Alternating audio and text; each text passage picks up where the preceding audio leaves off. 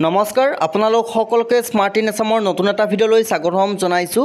চ' আজিৰ এই ভিডিঅ'টোত আমি আলোচনা কৰিম ডি এল এড এণ্ট্ৰেঞ্চ এক্সামৰ কাৰণে বিজ্ঞানৰ অতিকে গুৰুত্বপূৰ্ণ দুইশতকৈ অধিক কুৱেশ্যন এনচাৰ এটা ভিডিঅ'তে আলোচনা কৰিম। গতিকে ভিডিঅ'টো দীঘল হ'ব আপোনালোকে ভিডিঅ'টো স্কিপ নকৰিব প্ৰথমৰ পৰা শেষলৈ চাই যাব। অতিকে গুৰুত্বপূৰ্ণ প্ৰয়োজনীয় কুৱেশ্যন এনচাৰসমূহ আলোচনা কৰিম। যিহেতু আপোনালোকৰ ডি এল এড এণ্ট্ৰেঞ্চ এক্সামত ছায়েন্স এণ্ড এ বি এছৰ পৰা ফিফটিন মাৰ্কছ আহিব পোন্ধৰ নম্বৰ আহিব। গতিকে খুবেই প্ৰয়োজনীয় কুৱেশ্যন এনচাৰসমূহ আমি আলোচনা কৰিম। যিহেতু যাতে আপোনালোকে পোন্ধৰৰ ভিতৰত পোন্ধৰে ছায়েন্সত আপোনালোকে ৰাখিব পাৰে ভিডিঅ'টো শেষলৈ চাই যাব। যিসকলে চেনেলটো ছাবস্ক্ৰাইব কৰা নাই চেনেলটো ছাবস্ক্ৰাইব কৰি ল'বলৈ একেবাৰে নাপাহৰিব। চ' এইখিনিতে আপোনালোকক এটা ইনফৰ্মেশ্যন জনাব বিচাৰিছোঁ। ইতিমধ্যে প্ৰকাশ কৰা হৈছে D El Ed pre entry টেষ্টৰ কাৰণে পি ডি এফ গাইডবুক যিখন গাইডবুক দুহেজাৰ একৈছ চনৰ পৰা বৰ্তমানলৈ প্ৰকাশ কৰি অহা হৈছে। সম্পূৰ্ণ চিলেবাছ অনুসৰি প্ৰস্তুত কৰা এইখন পি ডি এফ গাইডবুকত আপোনালোকে আটাইকেইটা বিষয়ৰ কুৱেশ্যন এনচাৰ অসমীয়াতে লাভ কৰিব য'ত আপোনালোকে পাঁচ হাজাৰতকৈ অধিক কুৱেশ্যন এনচাৰ চিলেবাছ অনুসৰি লাভ কৰিব। ইতিমধ্যে হৈ যোৱা দুহেজাৰ একৈছ বৰ্ষ আৰু দুহেজাৰ বাইছ বৰ্ষৰ প্ৰি এণ্ট্ৰি টেষ্টত যথেষ্টখিনি কুৱেশ্যন এনচাৰ কমন অহা দেখা গৈছে। প্ৰায় সত্তৰৰ পৰা আশী শতাংশ কুৱেশ্যন এনচাৰ এইখন গাইডবুকৰ পৰা ডাইৰেক্টলি কমন অহা দেখা গৈছে। গতিকে আগন্তুক এক্সামৰ কাৰণে আপোনালোকে যথেষ্টখিনি লাভান্বিত হ'ব পাৰিব। এই বৰ্ষত আপোনালোক যিসকলে D L Ed pre entry টেষ্টত অৱতীৰ্ণ হ'ম বুলি ভাবিছে আপোনালোকে এইখন গাইডবুকৰ জৰিয়তে খুব ভালদৰে প্ৰিপাৰেশ্যন কৰিব পাৰিব। যিসকলে এতিয়াও ডাউনলোড কৰি লোৱা নাই ডাউনলোড কৰি ল'ব পাৰিব। এই ভিডিঅ'টোৰ তলত ডেচিশ্যন বক্সত যিটো লিংক দিয়া আছে সেই লিংকত ক্লিক কৰি আপোনালোকে ডাউনলোড কৰি মোবাইলতে পঢ়িব পাৰিব। মনত ৰাখিব সম্পূৰ্ণ চিলেবাছ অনুসৰি প্ৰস্তুত কৰা হৈছে এইখন পি ডি এফ গাইডবুক অসমীয়াতে মোবাইলতে পঢ়িব পাৰিব। ডাউনলোড লিংক ডেচিশ্যন বক্সত এভেইলেবল আছে। চ' প্ৰথম কুৱেশ্যনটো দিয়া আছে তেজত ৰক্তকণিকাৰ পৰিমাণ কিমান শতাংশ থাকে? অপশ্যন দিয়া আছে পঞ্চল্লিছ শতাংশ ছিয়াল্লিছ শতাংশ চল্লিছ শতাংশ ঊনপঞ্চাছ শতাংশ। So ৰক্তকণিকা means R B C red blood cell কিমান শতাংশ থাকে তেজত? চ' ইয়াৰ শুদ্ধ এনচাৰ হ'ব অপশ্যন এ পঞ্চল্লিছ শতাংশ তেজত ৰক্তকণিকা আৰ বি চি থাকে অপশ্যন এ কাৰেক্ট এনচাৰ তাৰ পিছৰ কুৱেশ্যনটো দিয়া আছে কক্ষীয় শ্বসনৰ বাবে দায়িত্বশীল কোষাণু হ'ল। অপশ্যন দিয়া আছে ৰাইবজম কোষ কেন্দ্ৰ মাইটকণ্ড্ৰিয়া এইবোৰৰ এটাও নহয়। কক্ষীয় শ্বসনৰ কাৰণে দায়িত্বশীল কোষাণু হ'ব option C correct answer mitochondria. Next question দিয়া আছে উদ্ভিদ কোষত থকা বৃহৎ ঠাইক কি বুলি কোৱা হয়? লাইচজম ভেকুৱল প্লাষ্টিক এটাও নহয়। চ' অপশ্যনসমূহ আপোনালোকে দেখাৰ লগে লগে যদি শুদ্ধ এনচাৰটো জানে কমেণ্ট বক্সত কমেণ্ট কৰি যাব তেতিয়া আপোনালোকৰ ৰিভিজন হৈ যাব। চ' খুবেই গুৰুত্বপূৰ্ণ উদ্ভিদ কোষত থকা বৃহৎ ঠাইক কি বুলি কোৱা হয়। চ' ইয়াৰ এনচাৰ হ'ব অপশ্যন বি ভেকুৱল উদ্ভিদ কোষত থকা বৃহৎ ঠাইক ভেকুৱল বুলি কোৱা হয়। Option B correct answer next question দিয়া আছে তলৰ কোনটোক আত্মঘাতী মনা বুলি কোৱা হয়? খুবেই গুৰুত্বপূৰ্ণ কুৱেশ্যন অপশ্যন দিয়া আছে লাইচজম ৰাইবজম গলগি বডি আৰু চেণ্ট্ৰজম চ' ইয়াৰ শুদ্ধ এনচাৰ হ'ব অপশ্যন এ লাইচজমক আত্মঘাতী মনা বুলি কোৱা হয় মনত ৰাখিব। খুবেই গুৰুত্বপূৰ্ণ লাইচজমক আত্মঘাতী মনা বুলি কোৱা হয়। তাৰ পিছৰ কুৱেশ্যনটো আছে গাখীৰত থকা এই শৰ্কৰাবিধৰ নাম কি? অপশ্যন এ আছে গ্লুকজ অপশ্যন বি আছে ফ্ৰুক্টছ অপশ্যন চি আছে গ্লেকটছ আৰু অপশ্যন ডি আছে মেলটছ। অৰ্থাৎ ইয়াত মাল্টছ হৈছে যে মেলটছ হয়। চ' ইয়াৰ শুদ্ধ এনচাৰ হ'ব অপশ্যন চি গ্লেকটছ। গাখীৰত থকা এই শৰ্কৰাবিধৰ নাম হৈছে galactose option C correct answer next question দিয়া আছে জীৱ শক্তি কিহে প্ৰদান কৰে? অপশ্যনসমূহ দিয়া আছে প্ৰ'টিন কাৰ্বহাইড্ৰেট লিপিডে অপশ্যন ডি দিয়া আছে কাৰ্বহাইড্ৰেট আৰু লিপিডে চ' ইয়াৰ শুদ্ধ এনচাৰ হ'ব অপশ্যন ডি জীৱ শক্তি কাৰ্বহাইড্ৰেট আৰু লিপিডে প্ৰদান কৰে। চ' আমি এনেকুৱা ধৰণৰ কুৱেশ্যনসমূহ আলোচনা কৰি আছোঁ যিবোৰ কুৱেশ্যন আপোনালোকৰ ডি এইচ এছৰ পৰীক্ষাত বাৰে বাৰে আহে। এনেকুৱা ধৰণৰ কুৱেশ্যনে আপোনালোকৰ আহিব খুবেই গুৰুত্বপূৰ্ণ। ভিডিঅ'টো একদম শেষলৈ চাই যাব য'ত আপোনালোকে দুশতকৈ অধিক ইম্পৰ্টেণ্ট কুৱেশ্যন এনচাৰ এটা ভিডিঅ'তে লাভ কৰিব। চ' নেক্সট কুৱেশ্যন দিয়া আছে। আলেকজেণ্ডাৰ ফ্লেমিঙে কি আৱিষ্কাৰ কৰিছিল? ইতিমধ্যে বহুকেইবাৰ পৰীক্ষাত এই কুৱেশ্যনটো আহি গৈছে। আলেকজেণ্ডাৰ ফ্লেমিঙে কি আৱিষ্কাৰ কৰিছিল? অপশ্যন এ আছে পেনিচিলিন অপশ্যন বি আছে কুইনাইন অপশ্যন চি আছে বিটাডিন আৰু অপশ্যন ডি আছে এনাস্থেচিয়া চ' শুদ্ধ এনচাৰটো আপোনালোকক কমেণ্ট বক্সত কমেণ্ট কৰক যিসকলে জানে আলেকজেণ্ডাৰ ফ্লে ফ্লেমিঙে কি আৱিষ্কাৰ কৰিছিল। চ' ইয়াৰ শুদ্ধ এনচাৰ হ'ব অপশ্যন এ পেনিচিলিন আলেকজেণ্ডাৰ ফ্লেমিঙে আৱিষ্কাৰ কৰিছিল option A correct answer next question দিয়া আছে পলিঅ'চিটা কোনে আৱিষ্কাৰ কৰিছিল? খুবেই গুৰুত্বপূৰ্ণ কুৱেশ্যন পলিঅ'চিটা কোনে আৱিষ্কাৰ কৰিছিল? অপশ্যন এ দিয়া আছে জনাছ চক অপশ্যন বি দিয়া আছে আলেকজেণ্ডাৰ ফ্লেমিং আৰু অপশ্যন চি দিয়া আছে হৰগোবিন্দ খৰাণ ইয়াৰ এনচাৰ হ'ব অপশ্যন এ জনাছ চকে পলিঅ'চিটা আৱিষ্কাৰ কৰিছিল। নেক্সট কুৱেশ্যন দিয়া আছে মানৱ শৰীৰত তেজৰ সঞ্চালন হোৱা কথা কোনে আৱিষ্কাৰ কৰিছিল? অপশ্যন এ আছে এডৱাৰ্ড জেনাৰ অপশ্যন বি আছে উইলিয়াম হাৰ্ভে অপশ্যন চি আছে মাইক কলিংছ আৰু অপশ্যন ডি আছে মেণ্ডেল মানুহৰ শৰীৰত যে তেজৰ সঞ্চালন হয় এই কথাটো কোনে আৱিষ্কাৰ কৰিছিল? খুবেই গুৰুত্বপূৰ্ণ স্বাস্থ্য বিভাগৰ পৰীক্ষাৰ কাৰণে। ইয়াৰ এনচাৰ হ'ব অপশ্যন বি উইলিয়াম হাৰ্ভে মানুহৰ দেহত তেজৰ সঞ্চালন হোৱা কথাটো উইলিয়াম হাৰ্ভে আৱিষ্কাৰ কৰিছিল। Option B correct answer next question দিয়া আছে গাখীৰ আৰু কণীত কি ভিটামিন থাকে? অপশ্যন এ আছে বি আৰু চি অপশ্যন বি আছে চি আৰু ডি অপশ্যন চি আছে এ আৰু চি আৰু অপশ্যন ডি আছে এ আৰু ডি। অপশ্যনকেইটা উল্টা পুল্টা হৈছে কথা নাই। চ' গাখীৰ আৰু কণীত কি ভিটামিন থাকে? ইয়াৰ এনচাৰ হ'ব অপশ্যন ডি। এ ভিটামিন আৰু ডি ভিটামিন থাকে। মনত ৰাখিব গাখীৰ আৰু কণীত এ ভিটামিন আৰু ডি ভিটামিন থাকে। নেক্সট কুৱেশ্যন দিয়া আছে তলত দিয়া কোনবিধৰ পৰা অধিক পুষ্টি পোৱা যায়? অপশ্যনসমূহ দিয়া আছে ৰহৰৰ দাইল মাকৈ চয়াবিন বাদাম। ইয়াৰে কোনবিধ খাদ্য বস্তুত অধিক পুষ্টি পোৱা যায়? ইয়াৰ এনচাৰ হ'ব অপশ্যন চি চয়াবিন। চয়াবিনত সকলোতকৈ বেছিকৈ পুষ্টি পোৱা যায়। নেক্সট কুৱেশ্যন দিয়া আছে তলত দিয়া কোনবিধ খাদ্য বস্তুত সৰ্বাধিক কাৰ্বহাইড্ৰেট পোৱা যায়? আটাইতকৈ বেছি পৰিমাণে পোৱা কাৰ্বহাইড্ৰেটবিধ সুধিছে কোনবিধ খাদ্য বস্তুত পোৱা যায়? অপশ্যন চাৰিটা চাই ল'ব। অপশ্যন এ দিয়া আছে আলু ঘিউ আৰু কোমোৰা। অপশ্যন বি দিয়া আছে গম ঘিউ আৰু পালেং শাক অপশ্যন চি দিয়া আছে কল আলু আৰু চাউল। অপশ্যন ডি দিয়া আছে চাউল নেমু আৰু মিঠাতেল চ' শুদ্ধ এনচাৰটো কমেণ্ট বক্সত কমেণ্ট কৰকচোন অপশ্যনসমূহ আপোনালোকে চাই। ইয়াৰ শুদ্ধ এনচাৰ হ'ব অপশ্যন চি কল আলু আৰু চাউল। কল আলু আৰু চাউলত সৰ্বাধিক পৰিমাণে কাৰ্বহাইড্ৰেট পোৱা যায়। নেক্সট কুৱেশ্যন দিয়া আছে মানুহৰ জৈৱিক মৃত্যু কেতিয়া হয়? চ' মানুহ এজনৰ জৈৱিক মৃত্যু কেতিয়া হোৱা বুলি ঘোষণা কৰা হয়? চ' অপশ্যন এ দিয়া আছে যেতিয়া চকু বন্ধ হৈ যায়। অপশ্যন বি দিয়া আছে যেতিয়া কোষবোৰৰ মৃত্যু হয়। আৰু অপশ্যন চি দিয়া আছে যেতিয়া হৃদস্পন্দন বন্ধ হয়। আৰু অপশ্যন ডি দিয়া আছে যেতিয়া হাত ভৰি লৰচৰ কৰিব নোৱাৰে। চ' ইয়াৰ শুদ্ধ এনচাৰ হ'ব অপশ্যন বি যেতিয়া কোষবোৰৰ মৃত্যু হয় যেতিয়া কোষবোৰৰ মৃত্যু হয় আমাৰ দেহৰ তেতিয়া মানুহ এজনক মৃত্যু হোৱা বুলি ঘোষণা কৰা হয় অৰ্থাৎ মানুহজনৰ জৈৱিক মৃত্যু হোৱা বুলি কোৱা হয়। নেক্সট কুৱেশ্যন দিয়া আছে সুস্থ মানুহ এজনৰ মগজুত কোষৰ সংখ্যা কিমান? অপশ্যন এ আছে প্ৰায় এক লাখ অপশ্যন বি আছে প্ৰায় দহ লাখ অপশ্যন চি আছে প্ৰায় এক কোটি আৰু অপশ্যন ডি আছে প্ৰায় এহেজাৰ কোটি। ইয়াৰ শুদ্ধ এনচাৰ হ'ব অপশ্যন ডি মানুহ এজনৰ মগজুত কোষৰ সংখ্যা হৈছে প্ৰায় এহেজাৰ কোটি। নেক্সট কুৱেশ্যন দিয়া আছে লিগামেণ্ট কি? খুবেই গুৰুত্বপূৰ্ণ কুৱেশ্যন লিগামেণ্ট কি? অপশ্যন চাৰিটা দিয়া আছে এ দিয়া আছে পেশী আৰু হাড়ৰ সংযোগী তত্ত্ব কলা অপশ্যন বি দিয়া আছে পেশী আৰু পেশী সংযোগী তন্ত্ৰময় কলা। অপশ্যন চি দিয়া আছে হাড় আৰু হাড়ৰ সংযোগী তন্ত্ৰময় কলা। অপশ্যন ডি দিয়া আছে ধ্বংস হৈ যোৱা পেশী কলাক মেৰামতি কৰা কলা। চ' এতিয়া আমি ইয়াৰ ক'ব লাগে শুদ্ধ এনচাৰ কোনটো? লিগামেণ্টৰ ডেফিনেশ্যন চ' ইয়াৰ শুদ্ধ এনচাৰ হ'ব অপশ্যন চি লিগামেণ্ট হৈছে হাড় আৰু হাড়ৰ সংযোগী তন্ত্ৰময় কলা। আকৌ এবাৰ কৈছোঁ লিগামেণ্ট হৈছে অপশ্যন চি কাৰেক্ট এনচাৰ হাড় আৰু হাড়ৰ সংযোগী তন্ত্ৰময় কলা। নেক্সট কুৱেশ্যন দিয়া আছে কুকুৰী কণা ৰোগ কি ভিটামিনৰ অভাৱৰ কাৰণে হয়? চ' যোৱাকালি আমি ভিডিঅ' এটা আলোচনা কৰিছোঁ ভিটামিন ডেফিচিয়েঞ্চি ডিজিজসমূহ কি ভিটামিনৰ অভাৱত কি কি ৰোগ হ'ব পাৰে? চ' খুবেই গুৰুত্বপূৰ্ণ টপিক ইয়াৰ পৰা ওৱান টু টু মাৰ্কছ আপোনালোকৰ আহিবই। চ' কুকুৰী কণা ৰোগ কি ভিটামিনৰ অভাৱত হয়? অপশ্যন দিয়া আছে A vitamin B vitamin C vitamin D vitamin so' ইয়াৰ ইয়াৰে শুদ্ধ এনচাৰটো আপোনালোকে জল্দি কমেণ্ট বক্সত কমেণ্ট কৰক। কুকুৰী কণা ৰোগ কি ভিটামিনৰ অভাৱত হয়? চ' ইয়াৰ শুদ্ধ এনচাৰ হ'ব অপশ্যন এ এই ভিটামিনৰ অভাৱত কুকুৰী কণা ৰোগ হয়। আৰু এই ভিটামিনৰ অভাৱত ছালৰ ৰোগ হয়।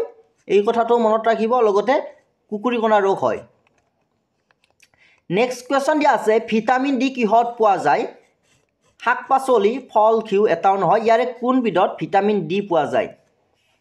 ইয়াৰ এনচাৰ হ'ব অপশ্যন চি ঘিউত। ঘিউত ভিটামিন ডি পোৱা যায় প্ৰচুৰ পৰিমাণে ভিটামিন ডি পোৱা যায় ঘিউত। নেক্সট কুৱেশ্যন দিয়া আছে আমত কি ভিটামিন থাকে? এনেকুৱা ধৰণৰ কুৱেশ্যন আপোনালোকে চাব লাগিব আমত কি ভিটামিন থাকে? অপশ্যনসমূহ দিয়া আছে এ ভিটামিন আৰু বি ভিটামিন বি আৰু চি এ আৰু চি বি আৰু ই ইয়াৰ শুদ্ধ এনচাৰ হ'ব অপশ্যন চি অৰ্থাৎ এ আৰু চি ভিটামিন থাকে। আমত এ ভিটামিন আৰু চি ভিটামিন থাকে। চ' এইখিনিতে আপোনালোকক এটা ইনফৰ্মেশ্যন জনাব বিচাৰিছোঁ। ইতিমধ্যে প্ৰকাশ কৰা হৈছে D El Ed pre entry টেষ্টৰ কাৰণে পি ডি এফ গাইডবুক যিখন গাইডবুক দুহেজাৰ একৈছ চনৰ পৰা বৰ্তমানলৈ প্ৰকাশ কৰি অহা হৈছে।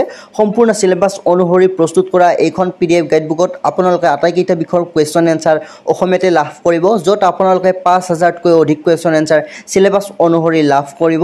ইতিমধ্যে হৈ যোৱা দুহেজাৰ একৈছ বৰ্ষ আৰু দুহেজাৰ বাইছ বৰ্ষৰ প্ৰি এণ্ট্ৰি টেষ্টত যথেষ্টখিনি কুৱেশ্যন এনচাৰ কমন অহা দেখা গৈছে। প্ৰায় সত্তৰৰ পৰা আশী শতাংশ কুৱেশ্যন এনচাৰ এইখন গাইডবুকৰ পৰা ডাইৰেক্টলি কমন অহা দেখা গৈছে। গতিকে আগন্তুক এক্সামৰ কাৰণে আপোনালোকে যথেষ্টখিনি লাভান্বিত হ'ব পাৰিব। এই বৰ্ষত আপোনালোক যিসকলে D L Ed pre entry টেষ্টত অৱতীৰ্ণ হ'ম বুলি ভাবিছে আপোনালোকে এইখন গাইডবুকৰ জৰিয়তে খুব ভালদৰে প্ৰিপাৰেশ্যন কৰিব পাৰিব। যিসকলে এতিয়াও ডাউনলোড কৰি লোৱা নাই ডাউনলোড কৰি ল'ব পাৰিব। এই ভিডিঅ'টোৰ তলত ডেচিশ্যন বক্সত যিটো লিংক দিয়া আছে সেই লিংকত ক্লিক কৰি আপোনালোকে ডাউনলোড কৰি মোবাইলতে পঢ়িব পাৰিব। মনত ৰাখিব সম্পূৰ্ণ চিলেবাছ অনুসৰি প্ৰস্তুত কৰা হৈছে এইখন পি ডি এফ গাইডবুক অসমীয়াতে মোবাইলতে পঢ়িব পাৰিব।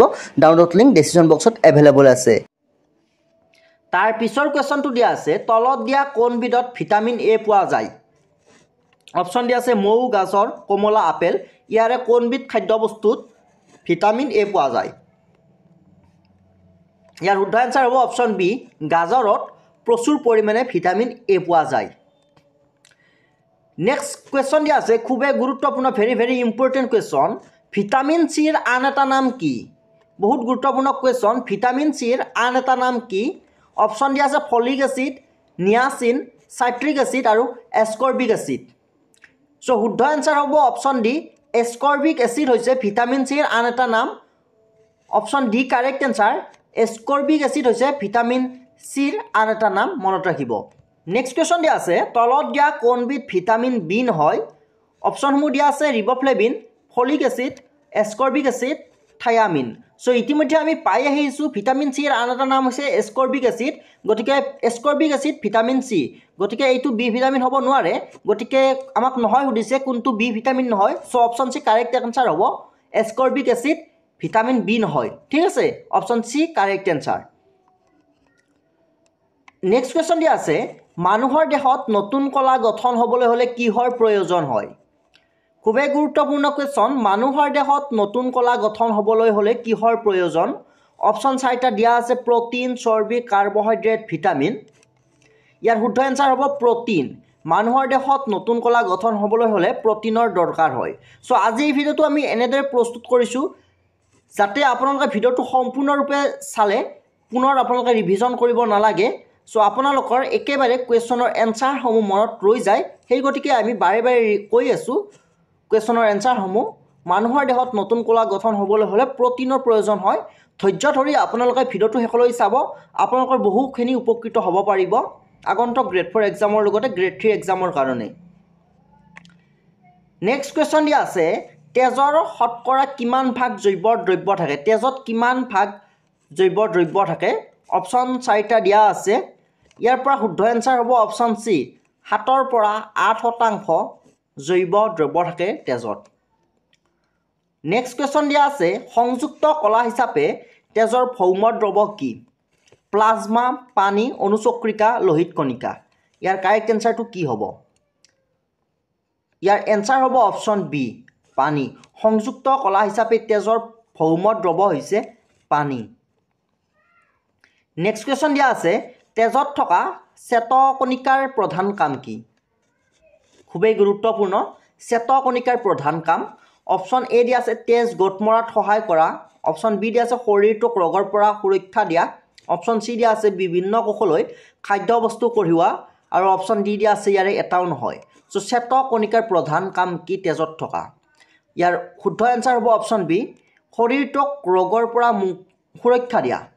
চেতকণিকাৰ প্ৰধান কাম হৈছে শৰীৰটোক ৰোগৰ পৰা সুৰক্ষা দিয়া। অপশ্যন বি শুদ্ধ এনচাৰ নেক্সট কুৱেশ্যন দিয়া আছে হিমগ্ল'বিনৰ মুখ্য উপাদান কি? Very very important question for grade four and grade three D H এছৰ এক্সাম চ' হিমগ্ল'বিনৰ মুখ্য উপাদান কি? Iron copper calcium magnesium so' এইটো আইন নহয় অপশ্যন এইটো আইৰণ হয় টাইপিং মিষ্টেক হৈছে। ইয়াৰ শুদ্ধ এনচাৰ হ'ব অপশ্যন এ আইৰণ আইৰণ হিমগ্ল'বিনৰ মুখ্য উপাদান হৈছে আইৰণ চ' নেক্সট কুৱেশ্যন দিয়া আছে সালোক সংশ্লেষণ প্ৰক্ৰিয়াৰ কোনটো পৰ্যায়ত অক্সিজেন নিৰ্গত হয়? অপশ্যন এ দিয়া আছে আলোক বিক্ৰিয়া দশাত অপশ্যন বি দিয়া আছে তিমিৰ বিক্ৰিয়া দশাত অপশ্যন চি দিয়া আছে কেলভিন চক্ৰত আৰু অপশ্যন ডি দিয়া আছে অপৰৰ এটাও নহয়। চ' শুদ্ধ এনচাৰটো কমেণ্ট বক্সত কমেণ্ট কৰিব। ভেৰি ভেৰি ইম্পৰ্টেণ্ট কুৱেশ্যন সালোক সংশ্লেষণ প্ৰক্ৰিয়াৰ কোনটো পৰ্যায়ত অক্সিজেন নিৰ্গত হয়? চ' ইয়াৰ শুদ্ধ এনচাৰ হ'ব অপশ্যন এ আলোক বিক্ৰিয়া দশাত আলোক বিক্ৰিয়া দশাত সালোক সংশ্লেষণৰ যি এই পৰ্যায়টোত অক্সিজেন নিৰ্গত হয়। নেক্সট কুৱেশ্যন দিয়া আছে শুকান বীজ পানীত তিয়াই থ'লে কোনটো প্ৰক্ৰিয়াৰ যোগেদি ওফন্দি উঠে? অপশ্যন এ দিয়া আছে আৱৰ্তন অপশ্যন বি দিয়া আছে অৱশোষণ অপশ্যন চি দিয়া আছে আকৃতি অপশ্যন ডি দিয়া আছে ব্যাপন। চ' ইয়াৰ শুদ্ধ এনচাৰ হ'ব অপশ্যন বি অৱশোষণ। নেক্সট কুৱেশ্যন দিয়া আছে কোন শ্ৰেণীৰ উদ্ভিদ সালোক সংশ্লেষণ কৰিব পৰা ক্ষমতা নাই? অপশ্যনসমূহ দিয়া আছে পতংগভোজী আংশিক মূল পৰজীৱী সম্পূৰ্ণ কাণ্ড পৰজীৱী আৰু অপশ্যন ডি দিয়া আছে আংশিক কাণ্ড পৰজীৱী। ইয়াৰ শুদ্ধ এনচাৰ হ'ব অপশ্যন চি সম্পূৰ্ণ কাণ্ড পৰজীৱী। নেক্সট খুবেই গুৰুত্বপূৰ্ণ কুৱেশ্যন দিয়া আছে উদ্ভিদৰ দেহৰ পৰিবহণত কি কলা জড়িত? অপশ্যন এ দিয়া আছে কেৱল জাইলেম অপশ্যন বি দিয়া আছে কেৱল ফ্ল'ৱেম অপশ্যন চি দিয়া আছে জাইলেম আৰু ফ্ল'ৱেম অপশ্যন ডি দিয়া আছে এভিটো নহয়। চ' উদ্ভিদৰ দেহৰ পৰিবহণ কলাত কি জড়িত? ইয়াৰ এনচাৰ হ'ব অপশ্যন চি জাইলেম আৰু ফ্ল'ৱেম উদ্ভিদ দেহৰ পৰিবহণত জাইলেম আৰু ফ্ল'ৱেম কলা জড়িত option C correct answer next question দিয়া আছে প্ৰাণীৰ শ্বসন প্ৰক্ৰিয়াৰ হাৰৰ তুলনাত উদ্ভিদৰ শ্বসন প্ৰক্ৰিয়া মন্থৰ খৰকটিকা একে এটাও নহয়। ইয়াৰ এনচাৰ হ'ব অপশ্যন এ মন্থৰ। মন্থৰ মানে লাহে লাহে that means so' next question দিয়া আছে জাইলেম আৰু ফ্ল'ৱেম কলাক একেলগে কি বুলি কোৱা হয়? ইয়াৰ এনচাৰ সংবহন কলা। মনত ৰাখিব জাইলেম আৰু ফ্ল'ৱেমক একেলগে সংবহন কলা বুলি কোৱা হয় ভাস্কুলাৰ টিচু নেক্সট কুৱেশ্যন দিয়া আছে। বৃক্ষজাতীয় উদ্ভিদৰ কাণ্ডই শ্বসনৰ বাবে প্ৰয়োজনীয় অক্সিজেন বায়ুমণ্ডলৰ পৰা কিহৰ দ্বাৰা আহৰণ কৰে? কুৱেশ্যনটো আকৌ এবাৰ কৈছোঁ বৃক্ষজাতীয় উদ্ভিদৰ কাণ্ডই শ্বসনৰ বাবে প্ৰয়োজনীয় অক্সিজেন বায়ুমণ্ডলৰ কিহৰ দ্বাৰা আহৰণ কৰে? অপশ্যন এ দিয়া আছে বাট ৰন্ধ্ৰ। অপশ্যন বি দিয়া আছে পত্ৰৰন্ধ্ৰ অপশ্যন চি দিয়া আছে ৰন্ধ্ৰপাত। অপশ্যন ডি দিয়া আছে হৰিত কণা। চ' যিহেতু আপোনালোকৰ ক্লাছ এইট ষ্টেণ্ডাৰ্ডৰ ওপৰত কুৱেশ্যন পেপাৰ হ'ব গতিকে এনেকুৱা ধৰণৰ কুৱেশ্যন এনচাৰ খুবেই গুৰুত্বপূৰ্ণ হ'ব। ইয়াৰ এনচাৰ হ'ব অপশ্যন এ বাট ৰন্ধ্ৰৰ জৰিয়তে অক্সিজেন বায়ুমণ্ডলৰ পৰা আহৰণ কৰে। নেক্সট কুৱেশ্যন দিয়া আছে উদ্ভিদৰ খনিজ পুষ্টিৰ বাবে অত্যাৱশ্যকীয় মৌলক কেইবিধ? খুবেই গুৰুত্বপূৰ্ণ কুৱেশ্যন উদ্ভিদৰ খনিজ পুষ্টিৰ বাবে অত্যাৱশ্যকীয় মৌলৰ সংখ্যা কিমানবিধ চ' ইয়াৰ এনচাৰ হ'ব অপশ্যন বি সোতৰবিধ। নেক্সট কুৱেশ্যন দিয়া আছে কক্ষীয় শ্বসন প্ৰক্ৰিয়াত কোষৰ কোনটো কোষ সংজ্ঞাণু সংঘটিত হয়? কক্ষীয় শ্বসন প্ৰক্ৰিয়াত কোষৰ কোনটো কোষ সংজ্ঞাণু সংঘটিত হয়? অপশ্যনসমূহ দিয়া আছে হৰিতকণা মাইটকণ্ড্ৰিয়া লাইচজম আৰু ৰসথানি ইয়াৰ শুদ্ধ এনচাৰ হ'ব অপশ্যন বি কক্ষীয় শ্বসন প্ৰক্ৰিয়া কোষৰ মাইটকণ্ড্ৰিয়াত সংঘটিত হয় মনত ৰাখিব।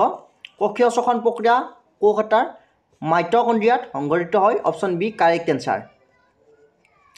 Next question দিয়া আছে ফচল চপোৱাৰ পিছত শস্য বীজক ভেঁকুৰনাশকেৰে কিয় ক্ৰিয়া কৰোৱা হয়? ইয়াৰ শুদ্ধ এনচাৰ হ'ব অপশ্যন বি অপচয় কম কৰিবলৈ। নেক্সট কুৱেশ্যন দিয়া আছে কি বস্তুত কলেষ্ট্ৰেৰল নাথাকে? মাংস কণী মাখন ফল। ইয়াৰে কোনবিধত কলেষ্ট্ৰেৰল নাথাকে? ইয়াৰ শুদ্ধ এনচাৰ হ'ব অপশ্যন ডি ফল ফল মূলত কলেষ্ট্ৰেৰল নাথাকে। চ' আপোনালোকে যদি ভিডিঅ'টো এতিয়ালৈ চাই আছে আমাক মটিভ কৰিবৰ কাৰণে আপোনালোকে ভিডিঅ'টো লাইক কৰিব আৰু আপোনাৰ বন্ধুসকলৰ লগত শ্বেয়াৰ কৰিব একেবাৰে নাপাহৰিব। নেক্সট কুৱেশ্যনটো দিয়া আছে। প্ৰাণী জগতৰ সবাতকৈ আদিম প্ৰাণীবিধ কি? এই কুৱেশ্যনটো বেছিভাগ সুধি থাকে এক্সামত প্ৰাণী জগতৰ সবাতকৈ আদিম প্ৰাণী কি? আদ্য প্ৰাণী শেলাই গণ শ্ৰেণী ভেৰি ভেৰি ইম্পৰ্টেণ্ট কুৱেশ্যন ইয়াৰ এনচাৰ হ'ব অপশ্যন এ আদ্য প্ৰাণী জগতৰ সবাতকৈ আদিম প্ৰাণীবিধ হৈছে আদ্য প্ৰাণী option A correct answer next question দিয়া আছে জীৱ জগতৰ ক্ষুদ্ৰতম গোটটো হ'ল। অপশ্যন এ দিয়া আছে প্ৰজাতি বৰ্গ গণ শ্ৰেণী। চ' ইয়াৰ শুদ্ধ এনচাৰ হ'ব অপশ্যন প্ৰজাতি। অপশ্যন এ কাৰেক্ট এনচাৰ প্ৰজাতি হৈছে জীৱ জগতৰ ক্ষুদ্ৰতম গোট। নেক্সট কুৱেশ্যন দিয়া আছে সকলো জীৱৰ দেহ গঠনৰ এককক কোৱা হয়। অৰ্থাৎ জীৱ দেহৰ দেহ গঠনৰ এককক কি বুলি কোৱা হয়? অপশ্যন দিয়া আছে কোষ কলা অংগ এটাও নহয়। ইয়াৰ শুদ্ধ এনচাৰ হ'ব অপশ্যন এ কোষ জীৱ দেহৰ দেহ গঠনৰ এককক কোষ বুলি কোৱা হয় option A correct answer next question দিয়া আছে কোষ নামটো প্ৰথম কোনে দিছিল বা কোষ শব্দটো কোনে আৱিষ্কাৰ কৰিছিল? Very very important question so' option A দিয়া আছে Robert Hooke Alexander Fleming Mendel এটাও নহয়। চ' আমি সকলোৱে জানো কোষ ৰবাৰ্ট হুকে আৱিষ্কাৰ কৰিছিল। Option A correct answer. কোষ ৰবাৰ্ট হুকে আৱিষ্কাৰ কৰিছিল। নেক্সট কুৱেশ্যন দিয়া আছে কোষৰ ভিতৰত থকা সকলো কাম নিয়ন্ত্ৰণ কৰে। কোষৰ ভিতৰত থকা সকলো কাম কিহে নিয়ন্ত্ৰণ কৰে? অপশ্যন দিয়া আছে চাইট'প্লাজম কোষ কেন্দ্ৰ কোষ প্ৰৰক চেণ্ট্ৰজম চ' শুদ্ধ এনচাৰটো কমেণ্ট বক্সত কমেণ্ট কৰক। কোষৰ ভিতৰত থকা সকলো কাম কিহে নিয়ন্ত্ৰণ কৰে? ইয়াৰ শুদ্ধ এনচাৰ হ'ব অপশ্যন বি কোষ কেন্দ্ৰই। কোষ কেন্দ্ৰই কোষৰ ভিতৰত থকা সকলো কাম নিয়ন্ত্ৰণ কৰে। নেক্সট কুৱেশ্যন দিয়া আছে কোষৰ শক্তিৰ কাৰখানা। কোষৰ শক্তিৰ কাৰখানা বুলি কাক কোৱা হয়? ৰসথানী মাইটকণ্ড্ৰিয়া গলগিবৃত্ত আৰু অপশ্যন তিনিটাই দিয়া আছে। কোষৰ শক্তিৰ কাৰখানা বুলি মাইটকণ্ড্ৰিয়াক কোৱা হয়। অপশ্যন বি কাৰেক্ট এনচাৰ মনত ৰাখিব। অৰ্থাৎ কক্ষীয় শক্তিৰ ভঁৰাল বা কোষৰ শক্তিৰ কাৰখানা বুলি মাইটকণ্ড্ৰিয়াক কোৱা হয় option B correct answer. Next question দিয়া আছে প্ৰটিন সংশ্লেষণৰ কেন্দ্ৰস্থল হ'ল। চ' প্ৰটিন সংশ্লেষণৰ কেন্দ্ৰস্থল অপশ্যনসমূহ দিয়া আছে চেণ্ট্ৰজম ৰাইবজম প্লাষ্টিড লাইচজম ইয়াৰ শুদ্ধ এনচাৰ হ'ব অপশ্যন বি ৰাইবজম প্ৰটিন সংশ্লেষণৰ কেন্দ্ৰস্থল হৈছে ৰাইবজম মনত ৰাখিব। নেক্সট কুৱেশ্যন দিয়া আছে অনুজীৱৰ ভিতৰত আটাইতকৈ ক্ষুদ্ৰতম খুবেই গুৰুত্বপূৰ্ণ কুৱেশ্যন মনত ৰাখিব। অনুজীৱৰ ভিতৰত আটাইতকৈ ক্ষুদ্ৰতম অৰ্থাৎ আটাইতকৈ ক্ষুদ্ৰতম অনুজীৱবিধৰ নাম কি? অপশ্যন দিয়া আছে ভাইৰাছ বেক্টেৰিয়া প্ৰটজোৱা ভেকুৰ। ইয়াৰ শুদ্ধ এনচাৰ হ'ব অপশ্যন এ ভাইৰাছ। ভাইৰাছ হৈছে আটাইতকৈ ক্ষুদ্ৰ অনুজীৱ। অপশ্যন এ কাৰেক্ট এনচাৰ মনত ৰাখিব খুবেই গুৰুত্বপূৰ্ণ। নেক্সট কুৱেশ্যন দিয়া আছে শালক সংশ্লেষণৰ কাৰণে কাৰ্যকাৰী ৰং কি? অপশ্যন দিয়া আছে ৰঙা সেউজীয়া বগা। চ' আমি সকলোৱে জানো শালক সংশ্লেষণৰ কাৰণে কাৰ্যকাৰী ৰংটো হৈছে সেউজীয়া। সেউজীয়া ৰং হৈছে শালক সংশ্লেষণৰ কাৰণে কাৰণে কাৰ্যকৰী। নেক্সট কুৱেশ্যন দিয়া আছে মানুহৰ কোষত ক্ৰমজম কিমান থাকে? ইম্পৰ্টেণ্ট কুৱেশ্যন মানুহৰ দেহত ক্ৰমজম কিমান থাকে? অপশ্যন এ দিয়া আছে বিছ যোৰ একৈছ যোৰ বাইছ যোৰ তেইছ যোৰ চ' ইয়াৰ অপশ্যন ডি কাৰেক্ট এনচাৰ হ'ব মানুহৰ দেহত ক্ৰমজমৰ সংখ্যা তেইছ যোৰ থাকে আৰু ডাল হিচাপত থাকিলে ছিয়াল্লিছ ফৰ্টি ছিক্স ছিয়াল্লিছডাল হ'ব আৰু যোৰ হিচাপত থাকিলে তেইছ যোৰ হ'ব। Option D correct answer next important question জীৱ বিৱৰ্তনৰ জনক কোন? Lamarck Newton Darwin Mendel so' এইটো ডাৰউইন হ'ব লাগিছিল অপশ্যন চি ইয়াৰ এনচাৰ হ'ব অপশ্যন চি জীৱ বিৱৰ্তনৰ জনক হৈছে ডাৰউইন ডাৰউইন হৈছে জীৱ বিৱৰ্তনৰ জনক option C correct answer next question দিয়া আছে প্ৰজননবিদ্যাৰ জনক কোন? লেমাৰ্ক নিউটন ডাৰউইন মেণ্ডেল ইয়াৰ শুদ্ধ এনচাৰ হ'ব অপশ্যন ডি মেণ্ডেল প্ৰজননবিদ্যাৰ জনক হৈছে মেণ্ডেল অপশ্যন নেক্সট কুৱেশ্যন দিয়া আছে আলুৰ বৈজ্ঞানিক নাম? আমি সকলোৱে জানো আলুৰ বৈজ্ঞানিক নাম হৈছে চালমনেলা টিউবাৰচমা। চ' ইয়াত টাইপিং মিষ্টেক হৈছে স্পেলিংটো নেক্সট কুৱেশ্যন দিয়া আছে মানুহৰ ডিঙিৰ সন্মুখভাগত থকা পখিলা আকৃতিৰ থাইৰয়ড গ্ৰন্থিয়ে শৰীৰৰ কি নিয়ন্ত্ৰণ কৰে? ৰক্ত সঞ্চালন স্নায়ু মাংসপেশী বৃদ্ধি। কুৱেশ্যনটো আকৌ এবাৰ কৈছোঁ মানুহৰ দেহৰ সন্মুখভাগত থকা পখিলা আকৃতিৰ থাইৰয়ড গ্ৰন্থিয়ে শৰীৰৰ কি নিয়ন্ত্ৰণ কৰে? অৰ্থাৎ সহজ ভাষাত যদি আপোনালোকে চাবলৈ যায় থাইৰয়ড গ্ৰন্থিয়ে শৰীৰৰ কি নিয়ন্ত্ৰণ কৰে? ইয়াৰ এনচাৰ হ'ব অপশ্যন ডি বৃদ্ধি নিয়ন্ত্ৰণ কৰে। থাইৰয়ড গ্ৰন্থিয়ে শৰীৰৰ বৃদ্ধি নিয়ন্ত্ৰণ কৰে। এইখিনিতে মন কৰিব মানুহৰ দেহত থাইৰয়ড গ্ৰন্থি গলৰ সন্মুখভাগত থাকে। নেক্সট কুৱেশ্যন দিয়া আছে জিন কি? ইম্পৰ্টেণ্ট কুৱেশ্যন জিন কি? অপশ্যন দিয়া আছে বংশগতিৰ একক এবিধ ভিটামিন এবিধ বেক্টেৰিয়া কোষত থকা ছিদ্ৰ। চ' ইয়াৰ শুদ্ধ এনচাৰ হ'ব অপশ্যন এ জিন হৈছে বংশগতিৰ একক। বা বংশগতিৰ একক একক কি সুধিব পাৰে? তেতিয়া এনচাৰ হ'ব জিন চ' এইখিনিতে আপোনালোকক এটা ইনফৰ্মেশ্যন জনাব বিচাৰিছোঁ। ইতিমধ্যে প্ৰকাশ কৰা হৈছে D El Ed pre entry টেষ্টৰ কাৰণে পি ডি এফ গাইডবুক যিখন গাইডবুক দুহেজাৰ একৈছ চনৰ পৰা বৰ্তমানলৈ প্ৰকাশ কৰি অহা হৈছে।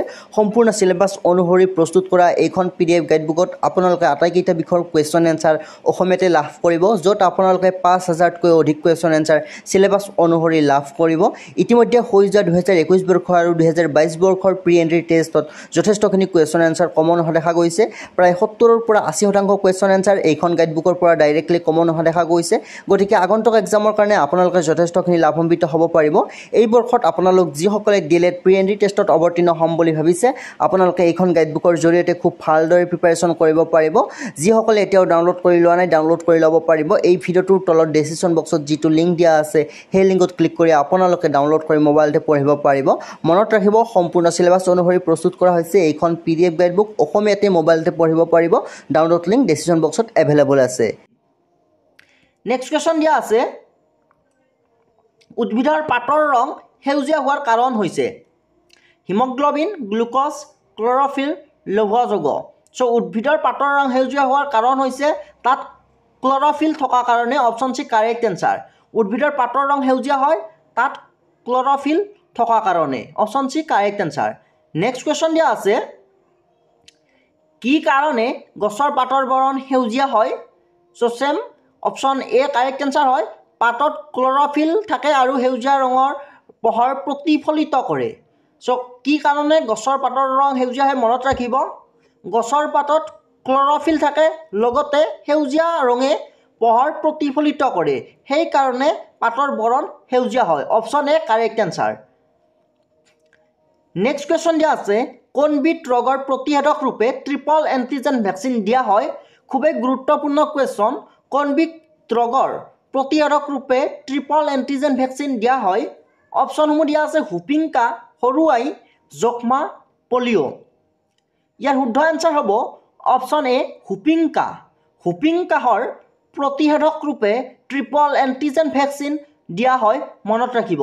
নেক্সট কুৱেশ্যন দিয়া আছে কোনবিধ এণ্টিবায়'টিক যক্ষ্মা ৰোগত ব্যৱহাৰ কৰা হয়। যক্ষ্মা ৰোগত কোনবিধ এণ্টিবায়'টিক ব্যৱহাৰ কৰা হয়? অপশ্যনসমূহ দিয়া আছে। টমাইচিন এম্পিচিলিন মেট্ৰনিজাল ষ্ট্ৰেপ্টমাইচিন ইয়াৰ শুদ্ধ এনচাৰ হ'ব অপশ্যন ডি যক্ষ্মা ৰোগত ব্যৱহাৰ কৰা এণ্টিবায়'টিকবিধ হৈছে streptomycin option D correct answer next দিয়া আছে কি ৰক্তদলৰ ব্যক্তিক সাৰ্বজনীন ডাটা বোলা হয়। অপশ্যনসমূহ দিয়া আছে এ বি এ বি অ' ইয়াৰ শুদ্ধ এনচাৰ হ'ব অপশ্যন ডি অ' ব্লাড গ্ৰুপৰ ব্যক্তিক সাৰ্বজনীন ডাটা বোলা হয় যিহেতু অ' ব্লাড গ্ৰুপৰ ব্যক্তি সকলোৰে পৰা ব্লাড ল'ব পাৰে। নেক্সট কুৱেশ্যন দিয়া আছে চিকিৎসকে নাড়ীৰ স্পন্দন কোনডাল ৰক্তবাহীত পৰীক্ষা কৰে? ৰেডিয়েল আনাৰ ব্ৰেকিয়েল আৰু চাৰ্কলেভিয়ান ধমনী। চ' ইয়াৰ শুদ্ধ এনচাৰ হ'ব অপশ্যন এ ৰেডিয়েল ধমনীত চিকিৎসকে নাড়ীৰ স্পন্দন পৰীক্ষা কৰে। চ' হাড় আৰু দাঁতৰ মুখ্য উপাদানবিধ হৈছে calcium sulphate option D correct answer. Next question দিয়া আছে মানুহৰ শৰীৰত থকা লিপিডৰ নাম ভিটামিন কলেষ্ট্ৰেৰল পাচক্ৰ আৰু প্ৰটিন চ' লিপিড হৈছে কলেষ্ট্ৰেৰল ভিটামিন লিপিড নহয় বা পাচক্ৰ লিপিড নহয় গতিকে অপশ্যন বি কাৰেক্ট এনচাৰ হ'ব। কলেষ্ট্ৰেৰল মানুহৰ শৰীৰত থকা লিপিডবিধৰ নাম হৈছে কলেষ্ট্ৰেৰল নেক্সট কুৱেশ্যন দিয়া আছে বংশগতিৰ বাহক কাক বোলে? কোষ লাইচজম ক্ৰমজম ভেঁকুৰ। ইয়াৰে কোনবিধক বংশগতিৰ বাহক বুলি কোৱা হয়? ইয়াৰ এনচাৰ হ'ব অপশ্যন চি ক্ৰমজমক বংশগতিৰ বাহক বুলি কোৱা হয়। মনত ৰাখিব বংশগতিৰ বাহক বুলি ক্ৰমজমক কোৱা হয়। নেক্সট গুৰুত্বপূৰ্ণ কুৱেশ্যন মানুহৰ হৃদপিণ্ডত কোনটো কোঠালিত অশুদ্ধ তেজ থাকে? চ' এই কথাটো মন কৰিব। মানুহৰ হৃদপিণ্ডৰ কোনটো কোঠালিত অশুদ্ধ তেজ থাকে আৰু কোনটোত বিশুদ্ধ তেজ থাকে খুবেই গুৰুত্বপূৰ্ণ হয়। চ' এই কুৱেশ্যনটোত সুধিছে আমাক মানুহৰ হৃদপিণ্ডৰ কোনটো কোঠালিত অশুদ্ধ তেজ থাকে? চ' ইয়াৰ এনচাৰ হ'ব অপশ্যন এ সৌ অলিণ্ডত সৌ অলিণ্ডত মানুহৰ মানুহৰ হৃদপিণ্ডৰ সৌ অলিণ্ডত অশুদ্ধ তেজ থাকে। Option A correct answer next question তলত দিয়া কোনটো চেতকণিকাই এণ্টিবডি উৎপন্ন কৰে। নিউট্ৰফিল লিম্ফচাইট মনচাইট আৰু বেচফিল ইয়াৰে কোনটো চেতকণিকাই এণ্টিবডি গঠন কৰে। ইয়াৰ এনচাৰ হ'ব অপশ্যন বি লিম্ফচাইট। লিম্ফচাইটে এণ্টিবডি গঠন কৰে মনত ৰাখিব। নেক্সট কুৱেশ্যন দিয়া আছে। ইষ্ট্ৰজেন হৰমনে ইষ্ট্ৰজেন হৰমনৰ অৰ্থাৎ কামটো কি সুধিছে? অপশ্যন এ দি আছে স্ত্ৰীৰ যৌন চৰিত্ৰ গঠনত সহায় কৰে। পুৰুষৰ যৌন চৰিত্ৰ গঠনত সহায় কৰে স্ত্ৰী আৰু পুৰুষৰ উভয়ৰে যৌন চৰিত্ৰ গঠনত সহায় কৰে আৰু অপশ্যন ডি দি আছে যৌন চৰিত্ৰ গঠনত সহায় নকৰে। চ' ইষ্ট্ৰজেন হৈছে এটা স্ত্ৰী হৰমন যে স্ত্ৰীৰ যৌন চৰিত্ৰ গঠনত সহায় কৰে। চ' মনত ৰাখিব ইষ্ট্ৰজেনে স্ত্ৰীৰ যৌন চৰিত্ৰ গঠনত সহায় কৰে। অপশ্যন এ কাৰেক্ট এনচাৰ হ'ব। নেক্সট কুৱেশ্যন দিয়া আছে তলত দিয়া অংগসমূহৰ কোনটো অংগই এমনিয়াক ইউৰিয়ালৈ পৰিৱৰ্তন কৰে? এমনিয়াক ইউৰিয়ালৈ কোনটো অংগই পৰিৱৰ্তন কৰে? অপশ্যন হাওঁফাওঁ যকৃত অন্ত আৰু প্লিহা ইয়াৰ এনচাৰ হ'ব অপশ্যন বি যকৃত। যকৃতে এমনিয়াক ইউৰিয়ালৈ পৰিৱৰ্তন কৰে। নেক্সট কুৱেশ্যন দিয়া আছে বৃক্কৰ ভিতৰৰ কেন্দ্ৰীয় অংশৰ নাম কি? বৃত্তৰ ভিতৰৰ কেন্দ্ৰীয় অংশটোক কি বুলি কোৱা হয়? Cortex medulla hilus renal corpuscle so' ইয়াৰ শুদ্ধ এনচাৰ হ'ব অপশ্যন বি মেডুলা বৃক্কৰ ভিতৰৰ কেন্দ্ৰীয় অংশটোক মেডুলা বুলি কোৱা হয়। নেক্সট কুৱেশ্যন দিয়া আছে মানুহৰ দেহৰ কোনটো অংশত হিমগ্ল'বিন ভাঙি বিলুৰুবিন আৰু বিলিফাৰ্ডিন গঠন হয়?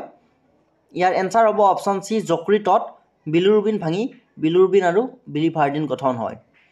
নেক্সট কুৱেশ্যন দিয়া আছে নিম্নলিখিত কোনটো তন্ত্ৰই প্ৰাণী দেহৰ বিভিন্ন তন্ত্ৰসমূহৰ মাজত সমন্বয় ৰক্ষা কৰে? অপশ্যন এ দিয়া আছে স্নায়ুতন্ত্ৰ অপশ্যন বি দিয়া আছে ৰক্ত সঞ্চালন তন্ত্ৰ অপশ্যন চি আছে শ্বাসতন্ত্ৰ আৰু অপশ্যন ডি আছে প্ৰজনন তন্ত্ৰ চ' শুদ্ধ এনচাৰ হ'ব অপশ্যন এ স্নায়ুতন্ত্ৰ নেক্সট কুৱেশ্যন দিয়া আছে বৃক্ক গঠনৰ প্ৰাথমিক একক কি? ভেৰি ভেৰি ইম্পৰ্টেণ্ট কুৱেশ্যন বৃক্ক গঠনৰ প্ৰাথমিক একক। অপশ্যনসমূহ দিয়া আছে নেফ্ৰন মেডুলা কৰ্টেক্স আৰু বমেনৰ সম্পুট চ' ইয়াৰ শুদ্ধ এনচাৰ হ'ব অপশ্যন এ নেফ্ৰন। বৃক্ক গঠনৰ প্ৰাথমিক একক হৈছে nephron. Option A correct answer next question দিয়া আছে তলত দিয়া অন্তঃস্ৰাৱী গ্ৰন্থিবোৰৰ ভিতৰত কোনটো শৰীৰত গ্লুক'জৰ পৰিমাণ নিয়ন্ত্ৰণ কৰা কাৰ্যত জড়িত? অৰ্থাৎ গ্লুক'জৰ পৰিমাণ নিয়ন্ত্ৰণ কৰা কাৰ্যত জড়িত কোনটো গ্ৰন্থি? অপশ্যন এ দি আছে পিটুইটাৰী গ্ৰন্থি থাইৰইড গ্ৰন্থি অগ্নাশয় গ্ৰন্থি আৰু শুক্ৰাশয়। চ' ইয়াৰ শুদ্ধ এনচাৰ হ'ব অপশ্যন চি। অগ্নাশয় গ্ৰন্থিয়ে গ্লুক'জৰ পৰিমাণ নিয়ন্ত্ৰণ কৰা কাৰ্যৰ লগত জড়িত হয়। অপশ্যন চি কাৰেক্ট এনচাৰ অগ্নাশয় গ্ৰন্থি। নেক্সট কুৱেশ্যন দিয়া আছে তেজত থকা হিমগ্ল'বিন কিহেৰে গঠিত? অপশ্যন দিয়া আছে অকল প্ৰ'টিন অপশ্যন বি দিয়া আছে প্ৰ'টিন আৰু ল' চি দিয়া আছে কাৰ্বহাইড্ৰেট আৰু ল' অপশ্যন ডি দিয়া আছে লৱণ আৰু ল' চ' ইয়াৰ শুদ্ধ এনচাৰ হ'ব প্ৰ'টিন আৰু ল' চ' যিসকলে আমাৰ গাইডবুকখন এতিয়াও ডাউনলোড কৰি লোৱা নাই আপোনালোকে ডাউনলোড কৰি ল'ব পাৰিব। লিংক ডেচিশ্যন বক্সত দিয়া আছে।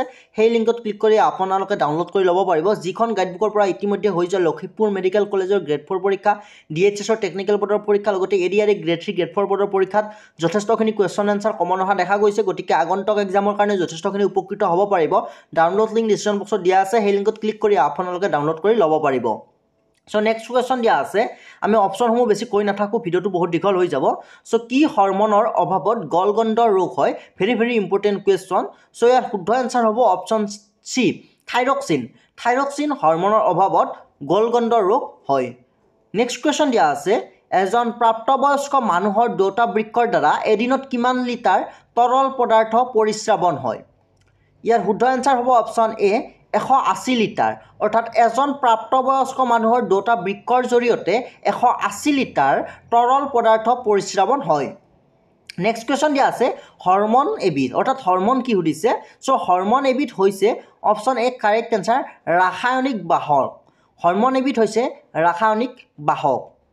নেক্সট কুৱেশ্যন দিয়া আছে তলত দিয়া কোনটো গ্ৰন্থি অন্তঃস্ৰাৱী গ্ৰন্থি নহয়?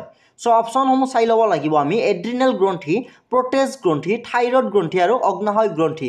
ইয়াৰে কোনবিধ হৰমন আমাক অন্তঃস্ৰাৱী নহয় সুধিছে। চ' ইয়াৰ এনচাৰ হ'ব অপশ্যন বি প্ৰটেজ গ্ৰন্থি অন্তঃস্ৰাৱী গ্ৰন্থি নহয়।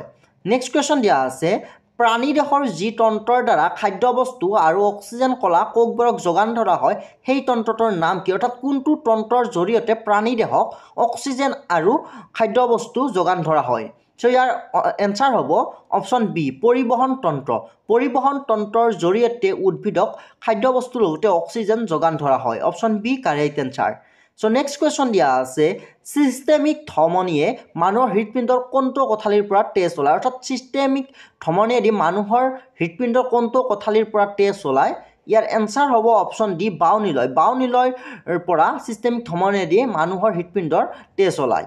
নেক্সট কুৱেশ্যন দিয়া আছে কোনবিধ সঞ্জীৱনী পদাৰ্থ উদ্ভিদ দেহৰ শিপাত সংশ্লেষণ হৈ পিছত বিভিন্ন অংগলৈ পৰিবাহিত হয়? অপশ্যনসমূহ দিয়া আছে চাইটকাইনিন জিবাৰেলিন এবচিক এচিড আৰু অক্সিন ইয়াৰ শুদ্ধ আনচাৰ হ'ব জিবাৰেলিনৰ জৰিয়তে উদ্ভিদ দেহৰ শিপাত সংশ্লেষণ হৈ পিছত বিভিন্ন অংগলৈ পৰিবাহিত হয়। অপশ্যন চি বিটো কাৰেক্ট এনচাৰ হয় জিবাৰেলিন চ' নেক্সট কুৱেশ্যন দিয়া আছে উদ্ভিদত পাৰ্শ্ব মুকুল সৃষ্টিত কোনবিধ সঞ্জীৱনী পদাৰ্থই বাধা দিয়ে? ইয়াৰ এনচাৰ হ'ব অপশ্যন এ। অক্সিনে অক্সিনে বাধা দিয়ে উদ্ভিদৰ পাৰ্শ্ব মুকুল সৃষ্টিত। চ' নেক্সট কুৱেশ্যন দিয়া আছে।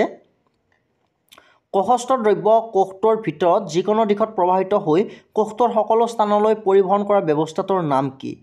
আৱৰ্তন অৱশোষণ ব্যাপন আৰু আকৃতি।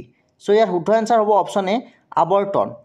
কোষস্থ দ্ৰব্য কোষটোৰ ভিতৰত যিকোনো দিশত প্ৰবাহিত হৈ কোষটোৰ সকলো স্থানলৈ পৰিবহণ হোৱা ব্যৱস্থাটোৰ নাম হৈছে আৱৰ্তন। Option A correct answer so' next question দিয়া আছে বীজৰ অংকুৰণৰ বাবে তলত দিয়া কোনবিধ অৱস্থা অতি প্ৰয়োজনীয়? পোহৰ নিম্ন উষ্ণতা খনিজ লৱণ পানী। ইয়াৰ শুদ্ধ এনচাৰ হ'ব অপশ্যন বি। নেক্সট কুৱেশ্যন দিয়া আছে সালোক সংশ্লেষণ প্ৰক্ৰিয়াৰ কোনটো পৰ্যায়ত অক্সিজেন নিৰ্গত হয়? অপশ্যন দিয়া আছে আলোক বিক্ৰিয়া তিমিৰ বিক্ৰিয়া কেলভিন চক্ৰত ওপৰৰ এটাও নহয়। ইয়াৰ শুদ্ধ এনচাৰ হ'ব অপশ্যন এ আলোক বিক্ৰিয়া দশাত আলোক বিক্ৰিয়া দশাত সালোক সংশ্লেষণৰ অক্সিজেন নিৰ্গত হয় option A correct answer next question দিয়া আছে শুকান বীজ পানীত তিয়াই থ'লে কোনটো প্ৰক্ৰিয়াৰ যোগেদি ওফন্দি উঠে? ইয়াৰ এনচাৰ হ'ব অপশ্যন বি অৱশোষণ প্ৰক্ৰিয়াৰ জৰিয়তে ওফন্দি উঠে। নেক্সট কুৱেশ্যন দিয়া আছে কোন শ্ৰেণীৰ উদ্ভিদ সালোক সংশ্লেষণ কৰিব পৰা ক্ষমতা নাই? নেক্সট কুৱেশ্যন আছে তলৰ কোনবিধ খাদ্য ভিটামিন এৰ উৎস অৰ্থাৎ কোনবিধ খাদ্যত ভিটামিন এ পোৱা যায় অপশ্যনসমূহ দিয়া আছে কমলা টেঙা দাইলজাতীয় শস্য কল সেউজীয়া শাক পাচলি ইয়াৰ শুদ্ধ এনচাৰ হৈছে অপশ্যন ডি সেউজীয়া শাক পাচলিত ভিটামিন এ পোৱা যায় অৰ্থাৎ এ ভিটামিনৰ উৎস হৈছে সেউজীয়া শাক পাচলি নেক্সট কুৱেশ্যন দিয়া আছে ৰেচম কি? ৰেচম হৈছে অৰ্ধ সংশ্লেষিত আ অপশ্যন চি কাৰেক্ট এনচাৰ ৰেচম হৈছে অৰ্ধ সংশ্লেষিত আ। নেক্সট কুৱেশ্যন দিয়া আছে তলত দিয়া কোনবিধক ফলৰ ৰজা বোলে? কল আম কঁঠাল আপেল আমক ফলৰ ৰজা বুলি কোৱা হয় so' option B correct answer next question দিয়া আছে এলাইজা পৰীক্ষাৰ দ্বাৰা কি ৰোগ ধৰা পেলোৱা হয়? খুবেই গুৰুত্বপূৰ্ণ কুৱেশ্যন কেঞ্চাৰ এইডছ মেলেৰিয়া আৰু টি বি ইয়াৰ শুদ্ধ এনচাৰ হ'ব অপশ্যন বি এইডছ এলাইজা পৰীক্ষাৰ জৰিয়তে এইডছ ৰোগ ধৰা পেলোৱা হয়। Option B correct answer next question দিয়া আছে চেতসাৰ কি? অপশ্যনসমূহ দিয়া আছে vitamin carbohydrate protein amino acid so' ইয়াৰ শুদ্ধ এনচাৰ হ'ব অপশ্যন এ চেতসাৰ হৈছে এবিধ vitamin option A correct answer চেতসাৰ এবিধ ভিটামিন নেক্সট কুৱেশ্যন দিয়া আছে মানুহৰ দেহৰ কোনটো অংশত ডব্লিউ চি গঠন কৰা হয়? So' W B C means white blood cell অৰ্থাৎ ডব্লিউ বি চি কোনটো অংশত গঠিত হয়? যকৃত বালগ্ৰন্থি হৃদপিণ্ড আৰু প্লিহা। চ' ইয়াৰ শুদ্ধ এনচাৰ হ'ব অপশ্যন ডি প্লিহাত ডব্লিউ বি চি গঠন হয়। নেক্সট কুৱেশ্যন দিয়া আছে কোনটো অংগ দুৰ্বল হ'লে জণ্ডিছ হয়? হৃদপিণ্ড অগ্নাশয় যকৃত হাওঁফাও চ' খুবেই গুৰুত্বপূৰ্ণ কুৱেশ্যন ইয়াৰ শুদ্ধ এনচাৰ হ'ব অপশ্যন চি যকৃত অৰ্থাৎ লিভাৰ দুৰ্বল হ'লে জণ্ডিছ হয়। নেক্সট কুৱেশ্যন দিয়া আছে এণ্টামিবা হিষ্টলাইটিকা কি? ভাইৰাছ বেক্টেৰিয়া আদ্যপ্ৰাণী এটাও নহয়। ইয়াৰ শুদ্ধ এনচাৰ হ'ব অপশ্যন চি আদ্যপ্ৰাণী অৰ্থাৎ এণ্টামিবা হিষ্টলাইটিকা হৈছে আদ্যপ্ৰাণী option C correct answer next question দিয়া আছে বৃক্কৰ প্ৰধান কাম কি? অপশ্যনসমূহ দিয়া আছে ৰোগ সংক্ৰমণৰ বিৰুদ্ধে যুদ্ধ কৰা খাদ্য হজম কৰা তেজ বিশুদ্ধ কৰা ইয়াৰে এটাও নহয়। চ' ইয়াৰ শুদ্ধ এনচাৰ হ'ব অপশ্যন চি বৃক্কৰ প্ৰধান কাম হৈছে তেজ বিশুদ্ধ কৰা। Option C correct answer next question দিয়া আছে সুস্থ ডেকা মানুহৰ তেজৰ চাপ কিমান? চ' তেজৰ চাপ মিনছ ব্লাড প্ৰেছাৰ কিমান? এজন মানুহৰ নৰ্মেল ব্লাড প্ৰেছাৰ কিমান থাকিব লাগে? অপশ্যনসমূহ দিয়া আছে এশ চল্লিছ বাই এশ দহ এশ দহ বাই সত্তৰ এশ বিছ বাই আশী আৰু এশ পঁয়ত্ৰিছ বাই নাইণ্টি চ' ইয়াৰ শুদ্ধ এনচাৰ হ'ব option C one twenty by eighty অৰ্থাৎ এশ বিছ বাই আশী সুস্থ মানুহ এজনৰ দেহত তেজৰ চাপ বা ব্লাড প্ৰেছাৰ থাকিব লাগে ইম্পৰ্টেণ্ট হয়। চ' নেক্সট কুৱেশ্যন দিয়া আছে প্ৰাপ্তবয়স্ক পুৰুষ এজনৰ তেজৰ হিমগ্ল'বিনৰ স্বাভাৱিক মান অৰ্থাৎ হিমগ্ল'বিন কিমান থাকিব লাগে? ইয়াৰ শুদ্ধ এনচাৰ হ'ব অপশ্যন বি চৈধ্য gram decilitre so' next question দিয়া আছে যকৃতৰ প্ৰধান কাম কি? ইতিমধ্যে আমি বৃক্কৰ প্ৰধান কাম পঢ়ি আহিছোঁ। চ' এইবাৰ সুধিছে যকৃতৰ লিভাৰৰ প্ৰধান কাম কি? অপশ্যন এ দিয়া আছে গ্লুকজেনৰ গ্লুকজেনৰ ৰূপত গ্লুকজ জমা কৰা হজমত সহায় কৰা শ্বসনত সহায় কৰা আৰু তেজ পৰিষ্কাৰ কৰা। ইয়াৰ শুদ্ধ এনচাৰ হ'ব অপশ্যন এ গ্লুকজেনৰ ৰূপত গ্লুকজ জমা কৰা হৈছে যকৃত অৰ্থাৎ লিভাৰৰ প্ৰধান কাম। Option A correct answer. আপোনালোকক লিভাৰ বা কিডনীৰ কামসমূহ সুধিব পাৰে চ' ভালদৰে চাই ল'ব। তাৰপিছত কুৱেশ্যনটো দিয়া আছে কি ৰোগৰ চিকিৎসাত ডায়েলিচিছ ব্যৱহাৰ কৰা হয়? ভেৰি ভেৰি ইম্পৰ্টেণ্ট কুৱেশ্যন কি ৰোগৰ চিকিৎসাত ডায়েলিচিছ ব্যৱহাৰ কৰা হয়? অপশ্যন এ দিয়া আছে বৃক্ক হ'ব লাগিছিল। অপশ্যন বি দিয়া আছে হৃদপিণ্ড যকৃত আৰু হাওঁফাওঁ। চ' ইয়াৰ শুদ্ধ এনচাৰ হ'ব অপশ্যন এ বৃক্ক। কিডনীৰ ৰোগত ডায়েলিচিছ ব্যৱহাৰ কৰা হয়। Option A correct answer next question দিয়া আছে কোনে প্ৰথম জীৱৰ ৰাসায়নিক ক্ৰম বিকাশৰ কথা কৈছিল? অপশ্যনসমূহ দিয়া আছে ডাৰউইন অফানী আৰু বেচেল ইয়াৰ শুদ্ধ এনচাৰ হ'ব অপশ্যন চি। অপানীয়ে জীৱৰ ৰাসায়নিক ক্ৰম বিকাশৰ কথা কৈছিল। Option C correct answer so' অপশ্যনকেইটা কেতিয়াবা উল্টা উল্টা হয়। অপশ্যন বিটো নাহিলে কোনো ধৰণৰ কথা নাই। কিন্তু শুদ্ধ এনচাৰ আমি পাইছোঁ। অপানীয়ে জীৱৰ ৰাসায়নিক ক্ৰম বিকাশৰ কথা কৈছিল। নেক্সট কুৱেশ্যন দিয়া আছে। কক্ষীয় শ্বসন প্ৰক্ৰিয়াৰ কোষৰ কোনটো কোষ অংগান সংঘটিত হয়? হৰিতকণা মাইটকণ্ড্ৰিয়া লাইচজম ৰসধনী ইয়াৰ শুদ্ধ এনচাৰ হ'ব। অপশ্যন বি মাইটকণ্ড্ৰিয়া এই কুৱেশ্যনটো আমি আগতে আলোচনা কৰি আহিছোঁ। কক্ষীয় শ্বসন প্ৰক্ৰিয়া কোষৰ মাইটকণ্ড্ৰিয়াত সংঘটিত হয়। Option B correct answer so' next question দিয়া আছে উদ্ভিদৰ শ্বসন কেৱল ডেছত ঘটে। উদ্ভিদৰ শ্বসন ক'ত ঘটে? দিনত ঘটে ৰাতি ঘটে দিন আৰু ৰাতি উভয় কালতে ঘটে বৰষুণ বতৰত ঘটে। চ' ইয়াৰ শুদ্ধ এনচাৰ হ'ব অপশ্যন চি দিন আৰু ৰাতি উভয় কালতে উদ্ভিদৰ শ্বসন ঘটে। অপশ্যন চি কাৰেক্ট এনচাৰ ঠিক আছে? নেক্সট কুৱেশ্যন দিয়া আছে মানুহৰ দেহত ক্ৰমজমৰ সংখ্যা ছিয়াল্লিছ চৌষষ্ঠি তেইছ চৌব্বিছ। তো চাওক আমি কুৱেশ্যনটো আগতে জোৰ হিচাপে আলোচনা কৰি আছোঁ কিমান জোৰ ক্ৰমজম থাকে মানুহৰ দেহত তেইছযোৰ ক্ৰমজম থাকে কিন্তু ইয়াত আমাক সংখ্যা হিচাপে সুধিছে। চ' সংখ্যা হিচাপে সুধিলে তেইছৰ দুগুণ অৰ্থাৎ যিহেতু তেইছযোৰ থাকে গতিকে ছিয়াল্লিছ সংখ্যা হিচাপত চালে আমি ছিয়াল্লিছ হ'ব। অপশ্যনে কাৰেক্ট এনচাৰ মানুহৰ দেহত ক্ৰমজমৰ সংখ্যা হৈছে ছিয়াল্লিছ। নেক্সট কুৱেশ্যন দিয়া আছে অপত্য কোষত ক্ৰমজমৰ সংখ্যা ডে কোষৰ আধা হয়। ক'ত আধা হয়? এমাইটচিছ মাইটচিছ মিঅ'চিছ আৰু গোটেইবোৰত চ' ইয়াৰ শুদ্ধ এনচাৰ হ'ব অপশ্যন চি মিঅ'চিছ বিভাজনত। অৰ্থাৎ মিঅ'চিছ বিভাজনত অপত্যকোষত ক্ৰমজমৰ সংখ্যা ডে কোষৰ আধা হয় মনত ৰাখিব option C correct answer next question দিয়া আছে তলৰ কোনটো মাইটচিছৰ লগত জড়িত নহয় আদ্য স্তৰ অন্তঃস্তৰ প্ৰাথমিক স্তৰ আৰু উপান্ত স্তৰ। চ' ইয়াৰ শুদ্ধ এনচাৰ হ'ব অপশ্যন চি প্ৰাথমিক স্তৰ মাইটচিছৰ লগত জড়িত নহয়। নেক্সট কুৱেশ্যন দিয়া আছে তলৰ কোনবিধ কোষৰ কোষ বিভাজন নহয়। স্নায়ু কোষ ৰক্তকোষ অস্থিকোষ আৰু জনন কোষ। কোনবিধ কোষৰ কোষ বিভাজন নহয়। চ' ইয়াৰ শুদ্ধ এনচাৰ হ'ব অপশ্যন এ স্নায়ু কোষ। স্নায়ু কোষৰ কোষ বিভাজন নহয়। নেক্সট কুৱেশ্যন দিয়া আছে বংশগতি সহায়কাৰী কোষ বিভাজন। বংশগতিত সহায় কৰা কোষটোৰ নাম কি? এমাইটচিছ মাইটচিছ মিঅ'চিছ চ' ইয়াৰ শুদ্ধ এনচাৰ হ'ব অপশ্যন চিছ মিঅ'চিছে বংশগতিত কোষ বিভাজন হোৱাত সহায় কৰে। Option C correct answer meiosis so' next question দিয়া আছে মাতৃ ক্ৰমজমৰ সংখ্যা ফৰ্টি ছিক্স ছিয়াল্লিছ মিঅ'চিছ প্ৰক্ৰিয়াত উৎপন্ন হোৱা অপত্য কোষত ক্ৰমজমৰ সংখ্যা কিমান হ'ব? চ' গ্ৰেড থ্ৰীৰ কাৰণে বহুত গুৰুত্বপূৰ্ণ এইটো কুৱেশ্যন চ' ইয়াৰ শুদ্ধ এনচাৰ অপশ্যন বি হ'ব তেইছ। অৰ্থাৎ আধা হৈ যাব। মিঅ'চিছ বিভাজনত ছিয়াল্লিছ হ'লে মিঅ'চিছ বিভাজনত আধা হৈ যাব অপত্য ক্ৰমজমত তেইছ হৈ যাব ঠিক আছে?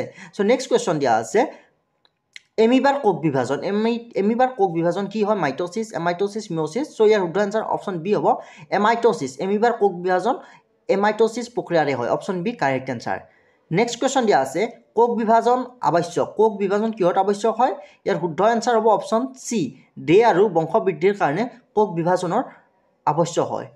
দেহৰ বৃদ্ধি হ'বৰ কাৰণে লগতে বংশ বৃদ্ধি হ'বৰ কাৰণে কোষ বিভাজনৰ আৱশ্যক। নেক্সট কুৱেশ্যন দিয়া আছে নীল সেউজ শেলাই আৰু ৰঙা শেলাই পোৱা সালোক সংশ্লেষণকাৰী ৰঞ্জক পদাৰ্থবিধ চ' নীল সেউজ শেলাই আৰু ৰঙা শেলাই পোৱা সালোক সংশ্লেষণকাৰী ৰঞ্জক পদাৰ্থবিধ হ'ব option B phycobilin. Option B correct answer next question দিয়া আছে সালোক সংশ্লেষণ প্ৰক্ৰিয়াত নিৰ্গত হয়। সালোক সংশ্লেষণ প্ৰক্ৰিয়াত কি নিৰ্গত হয়? আলোক বিক্ৰিয়া দশাত টিমিট বিক্ৰিয়াত কেলভিন চক্ৰত। ইয়াৰ শুদ্ধ এনচাৰ হ'ব অপশ্যন এ আলোক বিক্ৰিয়াত সালোক সংশ্লেষণ প্ৰক্ৰিয়া নিৰ্গত হয়। খুবেই গুৰুত্বপূৰ্ণ কুৱেশ্যন আল সালোক সংশ্লেষণ প্ৰক্ৰিয়া আলোক বিক্ৰিয়াৰ দশাত সংঘটিত হয়। নেক্সট কুৱেশ্যন দিয়া আছে মানুহৰ তেজৰ প্লাজমা আৰু ৰক্ত কণিকাৰ অনুপাত। অপশ্যনসমূহ দিয়া আছে পঞ্চাছ শতাংশ আৰু পঞ্চাছ শতাংশ ষাঠি শতাংশ আৰু চল্লিছ শতাংশ পঁচপন্ন শতাংশ আৰু পঞ্চল্লিছ শতাংশ। ইয়াত অনুপাত হিচাপত দিয়া আছে। লাষ্ট অপশ্যন দি দিয়া আছে পঞ্চল্লিছ শতাংশ আৰু পঁচপন্ন শতাংশ। চ' ইয়াৰ শুদ্ধ এনচাৰ হ'ব অপশ্যন চি প্লাজমা থাকে মানুহৰ দেহত পঁচপন্ন শতাংশ আৰু ৰক্ত কণিকা আৰ বি চি থাকে ফৰ্টি ফাইভ পাৰ্চেণ্ট অৰ্থাৎ পঁচপন্ন শতাংশ আৰু পঞ্চল্লিছ শতাংশ। Option C correct answer next question দিয়া আছে কোনটো শ্বেত ৰক্তকণিকা দানাবিহীন? ইয়াৰ শুদ্ধ এনচাৰ হ'ব অপশ্যন বি মন'চাইট মন'চাইট শ্বেত ৰক্তকণিকাত দানাবিহীন। নেক্সট কুৱেশ্যন দিয়া আছে ঘেহু আৰু মাকৈ ৰাজ ৰোগৰ কাৰক হ'ল এবিধ চ' ইয়াৰ শুদ্ধ এনচাৰ হ'ব ভেঁকুৰ ঘেহু আৰু মাকৈ ৰাজ ৰোগৰ কাৰক হৈছে ভেঁকুৰ কাৰক বা বাহক একে অৰ্থ বহন কৰিব। চ' নেক্সট কুৱেশ্যন দিয়া আছে গৰু ম'হৰ চবকা বেমাৰ কিহৰ দ্বাৰা হয় বেক্টেৰিয়া ভাইৰাছ ভেঁকুৰ প্ৰতজোৱা ইয়াৰ শুদ্ধ এনচাৰ হ'ব অপশ্যন বি ভাইৰাছৰ জৰিয়তে হয় গৰু ম'হৰ চবকা বেমাৰ option B correct answer next question দিয়া আছে কুষ্ঠ ৰোগ সৃষ্টি কৰে বেক্টেৰিয়া ভাইৰাছ ভেঁকুৰ প্ৰতজোৱা ইয়াৰ শুদ্ধ এনচাৰ হ'ব অপশ্যন এ বেক্টেৰিয়াৰ দ্বাৰা কুষ্ঠ ৰোগৰ সৃষ্টি হয়। Option A correct answer next question দিয়া আছে পলিঅ' ৰোগৰ কাৰক হ'ল এবিধ এই কুৱেশ্যনকেইটা খুবেই গুৰুত্বপূৰ্ণ। পলিঅ' ৰোগৰ কাৰক হ'ল এবিধ বেক্টেৰিয়া ভাইৰাছ ভেঁকুৰ প্ৰতজোৱা পলিঅ' ৰোগ কিহৰ দ্বাৰা হয়? ইয়াৰ শুদ্ধ এনচাৰ হ'ব অপশ্যন বি ভাইৰাছৰ জৰিয়তে পলিঅ' ৰোগ হয়। নেক্সট কুৱেশ্যন দিয়া আছে এইডছ ৰোগ সৃষ্টি কৰে। এইডছ ৰোগ কিহৰ দ্বাৰা হয়? বেক্টেৰিয়া ভেঁকুৰ ভাইৰাছ প্ৰতজোৱা ইয়াৰে এটা নহয় এটা কুৱেশ্যন আপোনালোকৰ আহিবই। চ' খুবেই গুৰুত্বপূৰ্ণ। এইডছ ৰোগ সৃষ্টি কৰে ভাইৰাছৰ জৰিয়তে হয় এইডছ ৰোগ। Option C correct answer next question দিয়া আছে এমিবিয়ক গ্ৰহণী বা এম'বায়'চিছ ৰোগ সৃষ্টি হয়। বেক্টেৰিয়া ভেঁকুৰ ভাইৰাছ প্ৰতজোৱা ইয়াৰ শুদ্ধ এনচাৰ হ'ব অপশ্যন ডি প্ৰতজোৱাৰ জৰিয়তে এমিবিয়ক গ্ৰহণী বা এম'বায়'চিছ ৰোগ সৃষ্টি হয়। Option D correct answer next question দিয়া আছে হিমগ্ল'বিনৰ প্ৰধান উপাদান। চ' ইতিমধ্যে আমি পঢ়ি আহিছোঁ হিমগ্ল'বিনৰ প্ৰধান উপাদান হৈছে আইৰণ বা ল' চ' আপোনালোকে বেক্টেৰিয়াৰ দ্বাৰা কি ৰোগ হয় ভাইৰাছৰ দ্বাৰা কি ৰোগ হয় এই কুৱেশ্যনকেইটা আপোনালোকে ভালদৰে চাব খুবেই গুৰুত্বপূৰ্ণ। চ' নেক্সট কুৱেশ্যন আছে উদ্ভিদৰ শ্বসন হয়। উদ্ভিদৰ শ্বসন কেতিয়া হয়? উদ্ভিদৰ শ্বসন দিন আৰু ৰাতি সকলো সময়তে হয়। Option C correct answer next question দিয়া আছে ভাৰতৰ গ্ৰামাঞ্চলত বায়'ডিজেলৰ উৎস হিচাপে কি ব্যৱহাৰ কৰা হয়? চ' ভাৰতৰ গ্ৰামাঞ্চলত বায়'ডিজেলৰ উৎস হিচাপে পংগেমিয়া ব্যৱহাৰ কৰা হয় option A correct answer next আজিৰ এই পাৰ্টটোৰ শেষৰটো কুৱেশ্যন তলত দিয়া কোনবিধ গছৰ গুটিৰ পৰা জৈৱ ডিজেল প্ৰস্তুত কৰিব পাৰি? অপশ্যনসমূহ দিয়া আছে শাল কদম ভোট এৰা আৰু চজিনা ইয়াৰ শুদ্ধ এনচাৰ হ'ব অপশ্যন চি ভোট এৰাৰ পৰা জৈৱ ডিজেল প্ৰস্তুত কৰিব পাৰি। চ' আজিৰ এই মাৰাথন ছিৰিজটো এইখিনিতে অন্ত পৰিল। যদি আজিৰ এই ছিৰিজটোত এক হাজাৰতকৈও অধিক লাইক হয় তেনেহ'লে প্ৰতিটো ছাবজেক্টৰ এনেদৰে মাৰাথন ছিৰিজ আপোনালোকৰ কাৰণে ফ্ৰীকৈ লৈ আহিম। গতিকে আপোনালোকে ভিডিঅ'টো যিমান পাৰে সিমান শ্বেয়াৰ কৰিব আৰু যিসকলে পি ডি এফ গাইডবুকখন ডাউনলোড কৰি ল'ব খোজে ডাউনলোড কৰি ল'ব পাৰিব। এই ভিডিঅ'টোৰ তলত ডেছক্ৰিপশ্যন বক্সত লিংক দিয়া আছে। সেই লিংকত ক্লিক কৰি আপোনালোকে যথেষ্টখিনি কম মূল্যত আপোনালোকে ডাউনলোড কৰি মোবাইলতে প্ৰেক্টিছ কৰিব পাৰিব। মনত ৰাখিব সম্পূৰ্ণ চিলেবাছ অনুসৰি প্ৰস্তুত কৰা হৈছে এইখন পি ডি এফ গাইডবুক যিখন পি ডি এফ গাইডবুকৰ পৰা ইতিমধ্যে যোৱা দুটা বৰ্ষত ভালেখিনি কুৱেশ্যন এনচাৰ কমন আহিছে। গতিকে আগন্তুক এক্সামৰ কাৰণে আপোনালোকে যথেষ্টখিনি লাভান্বিত হ'ব পাৰিব। যিসকলে ডাউনলোড কৰি ল'ব ইচ্ছা কৰে ডাউনলোড কৰি ল'ব পাৰিব। এই ভিডিঅ'টোৰ তলত ডেচিশ্যন বক্সত লিংক দিয়া আছে। সেই লিংকত ক্লিক কৰি আপোনালোকে ডাউনলোড কৰি মোবাইলতে পঢ়িব পাৰিব। চ' আজিৰ ভিডিঅ'টো আমি এইখিনিতে শেষ কৰিছোঁ। ধন্যবাদ।